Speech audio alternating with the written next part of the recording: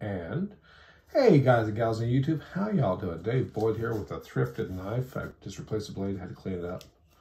Maybe this will be our, our official unboxing. We got here a box from eBay. Uh, you know already know what it is. Huh.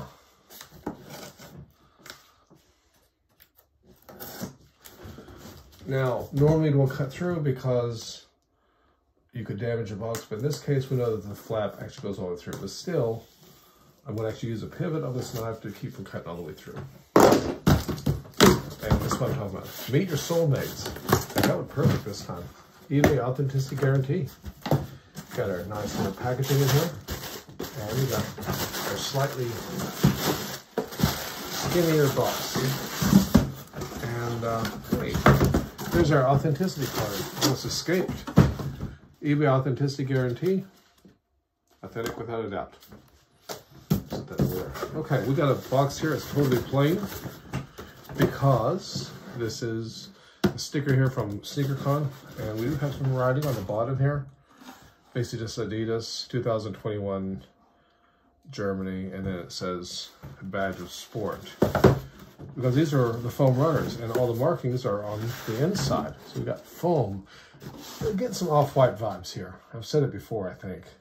This paper looks beautiful, which is nice. And these are supposed to be sage, these are the sage gray. There's your eBay authenticity. Tighten in there. And, hmm, can you guys see that? It's little swirly designs in here. Swirly, swirlies. And here's our jute with our Adidas tag. And there's your size tag. These are size 11s. Use a box here to block Mr. Yucky.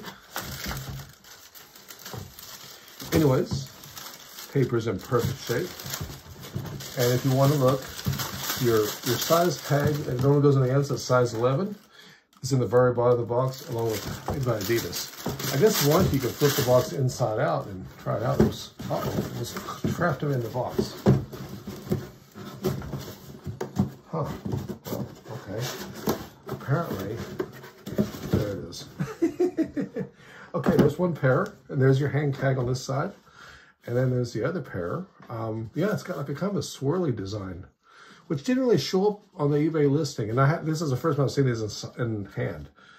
It's kind of interesting, and it's it's rather clear. The uh, mix moon rocks are also similar. I've been told that they're they're generally one color on the end, and then the color swirlies are much darker on the end here.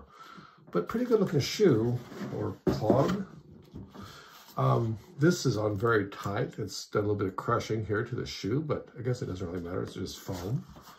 They feel wonderfully soft inside and pretty sturdy on the outside. Obviously, he's a fan of Kanye here, you can tell. That's a rumble for Kanye. But there's your, these are just stickers. They're like the slides, and uh, they just peel off. And I'm gonna probably, I'm gonna probably undead stock these and probably wear these. Are probably my summer, my summer shoes. Are you excited? Yeah, I am too. You like the foam runners? Actually, I don't, Mr. Yucky, but I guess you do, so we got a fan. All right, anyways, you guys let me know down comments down below if you got a pair of these, how you're feeling about the foam runners. They're finally coming down in price. Oh, oh, oh, oh, oh almost forgot. Huh. They should have them made, yeah, okay. These are made in China.